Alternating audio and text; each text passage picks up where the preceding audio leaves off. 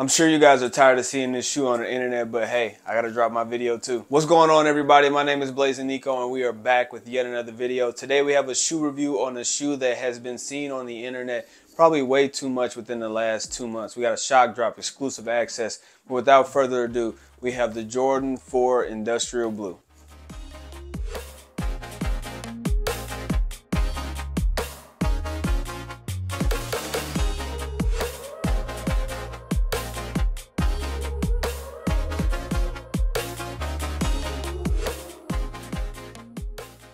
Jordan 4 Industrial Blue, aka Military Blue, releases on May 4th for a retail price of $215. Like I mentioned, we got a shock drop about a month early from the actual release date. The release date got pushed around a couple times all the way back to May 25th and got pushed back up to May 4th. And we also got exclusive access a couple weeks before, which is where this pair is from, from the Nike exclusive access. So the Jordan 4 Industrial Blue, aka Military Blue, is releasing in a full family size run. Of course, men's sizes, we're getting GS, which is big kids, little kids, and also toddler sizes. So the running rumor is that we are getting over 1.2 million pairs of these pairs of Jordan 4s. So maybe that's the reason they're doing shock drops, exclusive access. But honestly, usually when it's a big OG like this, like an original shoe that come out, we usually get shock drops and exclusive access. But I'm hearing crazy numbers that rival, you know, holiday Jordan 11 number. So hopefully everybody that wants a pair is able to get a pair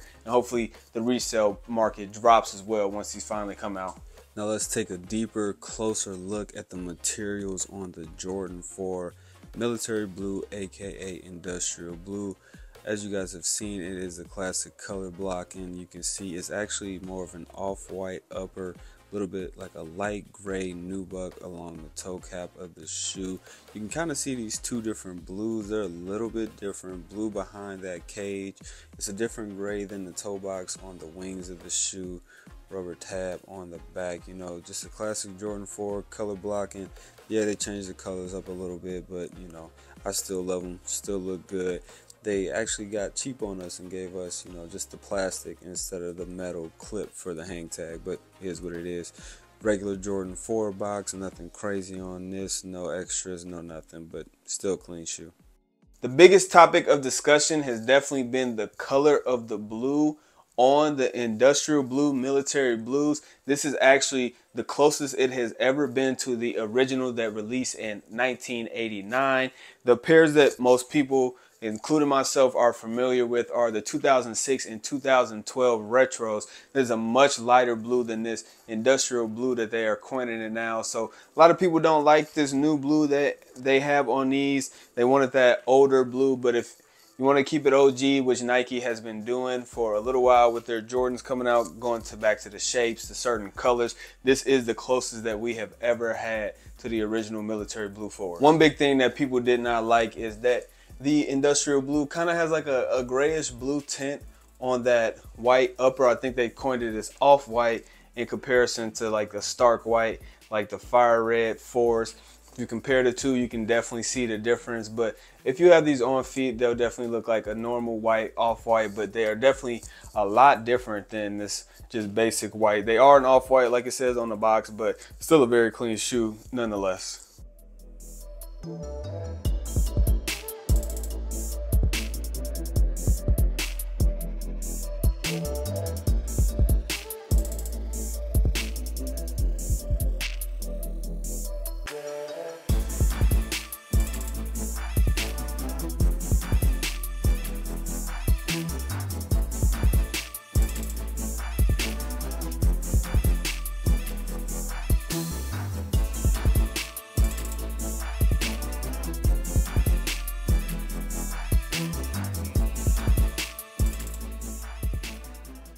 You guys just watched that try on video. I would say that these are still true to size. Whatever you wear in a regular pair of Jordan 4s, I would say go for that size. This is a 10 and a half and I'm a true size 10 and a half.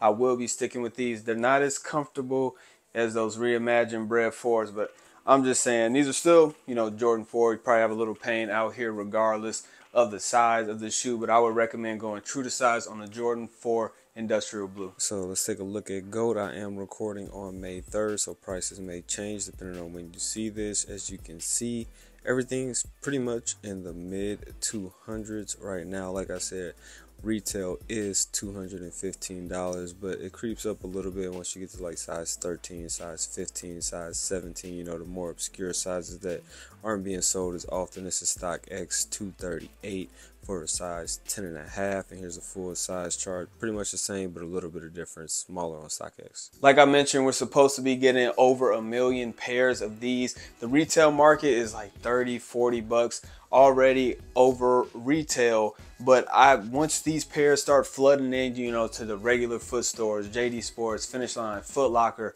Nike drops all their pairs Dick's Sporting Goods all those stores I can see these going to retail.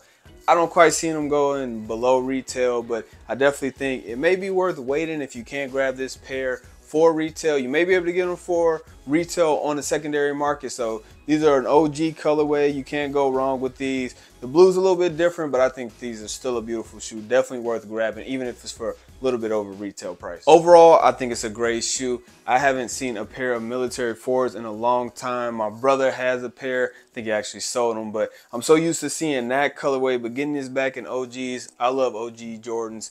OGs over everything for me, collaborations and all that. I'm going to go with the OG pair over most things, but definitely having this in the collection is another kind of like infinity stone that I can add. Now I just need the white cement force to come back, but these are definitely a beautiful shoe and will not be going anywhere. As always, I want to thank you guys for tuning in to another video.